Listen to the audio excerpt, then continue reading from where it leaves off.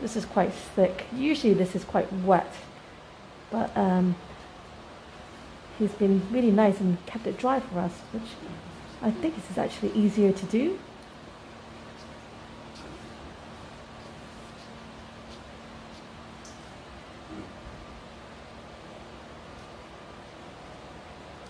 Just using a 22 blade here.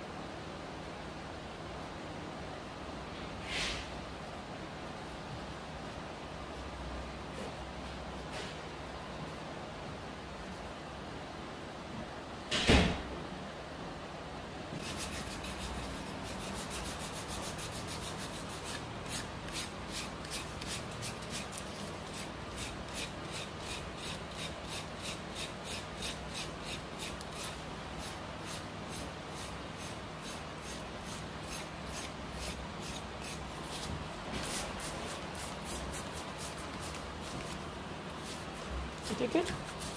And the next one. Raise it. Okay, fantastic. Thank you for that.